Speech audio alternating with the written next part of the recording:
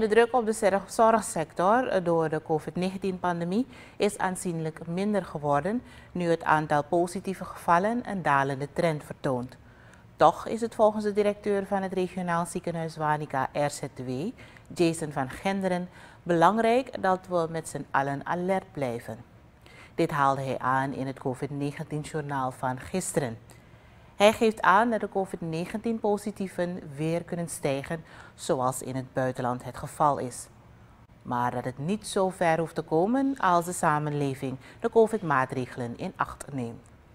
Ja, wij van het uh, Wanica ziekenhuis zijn, uh, het regionaal ziekenhuis Wanica zijn, de samenleving erg dankbaar dat uh, het zover is gekomen. We hebben dus steeds in de media aangegeven, houdt u zich aan de regels. En werkelijk, de samenleving heeft geluisterd. Dat we vandaag in zo'n situatie zijn beland dat we kunnen zeggen dat het goed gaat, komt door de medewerking van ieder. Van alle gezondheidsinstellingen, van de overheid, noem maar op, maar het belangrijkste van de samenleving. Ze hebben geluisterd, ze hebben zich gehouden aan, aan de regels. En vandaag kunnen we zeggen van we hebben veel minder gevallen. Als men zich aan de regels blijft houden, hoeft het dan nooit meer zo ver te komen. Van Genderen haalt verder aan dat alle personen die besmet zijn met het COVID-19-virus overgebracht worden naar het RZW.